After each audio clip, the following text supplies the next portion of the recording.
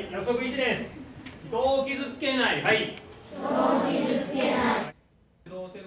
この授業は愛知県警が作成したクラウド型教材を使い愛西市の小学6年生およそ40人を対象に行われたものです。インターネット上のトラブル防止について子どもたちはタブレットを使って互いの意見を交換し合い理解を深めていました。が好きだから乗っ取られるのは嫌だなって思いました。他の人たちに見られることが嫌なことはもうインターネットで出さないで非公開とかにしておくことがいいと思いました。愛知県警は今後も学校と連携し子どもの防犯意識を高めたいとしています